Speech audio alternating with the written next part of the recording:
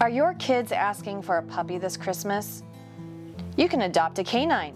If your kid or a spouse has been begging and pleading for a puppy this year, you can make their holiday dreams come true without the time commitment or vet bills associated with having a new pet. How is this possible?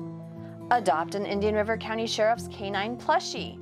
The super cute miniature stuffies feature shiny noses, protective vests, and sheriff stars on their collars. The plushies are $25, and $10 from each purchase goes to the Canine Unit's training, equipment, and the purchase of additional canines and other unbudgeted needs. There are five to collect Black German Shepherd, Belgian Malinois, Sable German Shepherd, Bloodhound, and German Short-Haired Pointer, representing our own diverse canine team. To purchase a canine plushie, email Canine Deputy Mindy Mangel at mmangel at ircsheriff.org.